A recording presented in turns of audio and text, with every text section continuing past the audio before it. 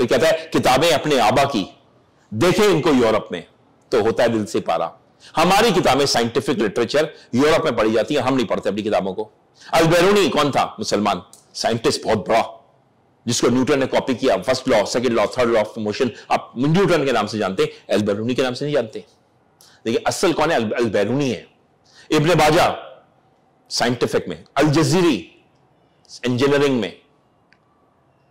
इमाम जाफ़र सादिक बेहतरीन philosophy and बेहतरीन साइंस हज़रत अली, बेहतरीन साइंस जोलॉजी हज़रत अली ने खुद कहा है I know the path of earth I know the path of space more than the path of earth मैं ज़मीन के रास्तों से ज़्यादा आसमान के रास्ते जानता हूँ।